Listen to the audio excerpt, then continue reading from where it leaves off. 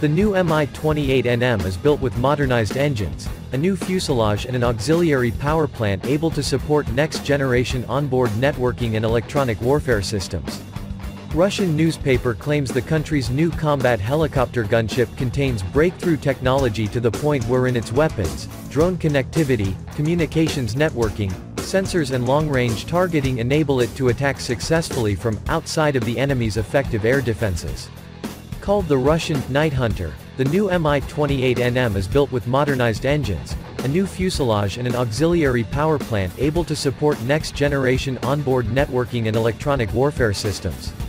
The Mi-28NM's onboard armament allows it to detect and destroy enemy targets round the clock and in any weather conditions while operating outside of the enemy's effective air defenses, Vitaly Shcherbina, the chief designer of the combat helicopters program at Rostec.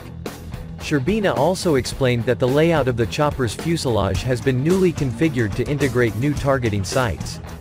The report also makes unspecified statements about the aircraft's defensive aid suite, claiming it can defeat an enemy's ground and airborne air defense systems. It does not seem at all clear what this might mean, as it seems extremely unlikely that even an extremely advanced helicopter with a new generation of sensors and countermeasures would be able to all air defenses, given that helicopters fly at lower altitudes and have structural limitations regarding how stealthy they can be. Also, perhaps of greatest significance, the Russian paper also makes vague references to the helicopter's communication systems and network-centric capabilities and its ability to enable aircraft to interact in a group.